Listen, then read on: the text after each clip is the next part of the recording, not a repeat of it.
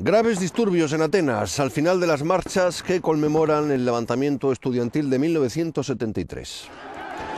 La policía dispersó con gases lacrimógenos anoche a varios grupos que les lanzaban piedras y botellas.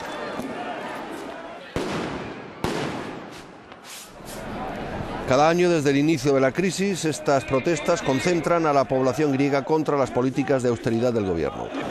El aniversario conmemora la revuelta en la Universidad Politécnica de Atenas, que marcó el principio del fin de la dictadura militar.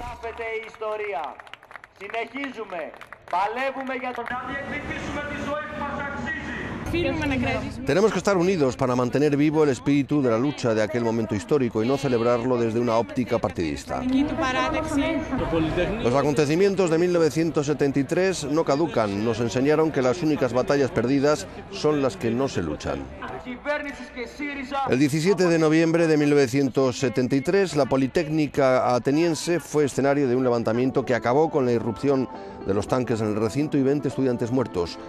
Fue la primera grieta en la Junta de los Coroneles.